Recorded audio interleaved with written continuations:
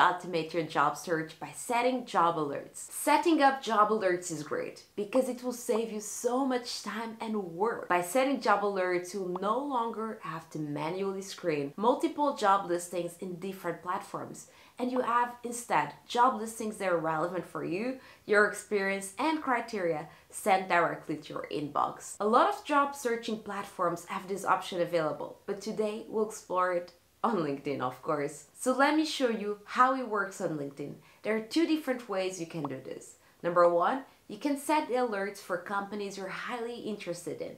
Or number two, you can set them based on role titles.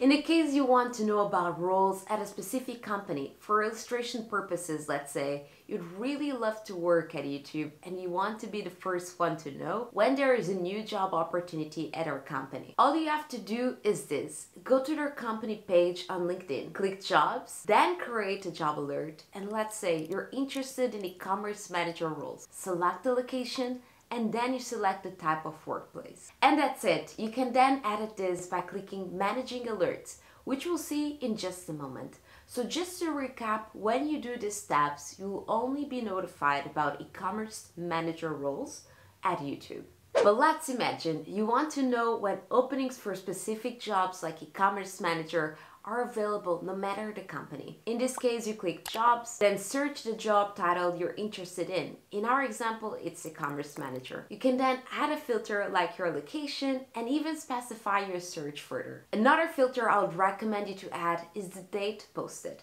to make your search more efficient and only be notified about freshly posted roles, for which recruiters are still looking for candidates. Did you know you can also add a filter for easy apply, and this will allow you to apply without having to leave LinkedIn. You can also add roles that I've received under 10 candidates or roles posted by my network.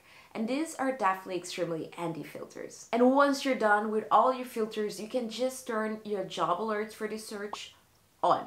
On your job alerts dashboard, you can decide how and how often you get these alerts. You can also see how many job alerts you have created and you can edit or even delete them. By the way, did you know you can also receive job recommendation alerts from LinkedIn by turning it on right here? And this is very practical as LinkedIn will suggest you on a regular basis roles that match your profile and searches. But let's click right here on a job alert I have just created for YouTube. Here I can edit the alert frequency, how I want to get notified about new relevant jobs, and if I actually want to hear about similar jobs to the one I set up my alert for or I can just delete this alert completely. And that's it. And if you'd like to know more tips in how to succeed on your recruitment processes, check out my video right here.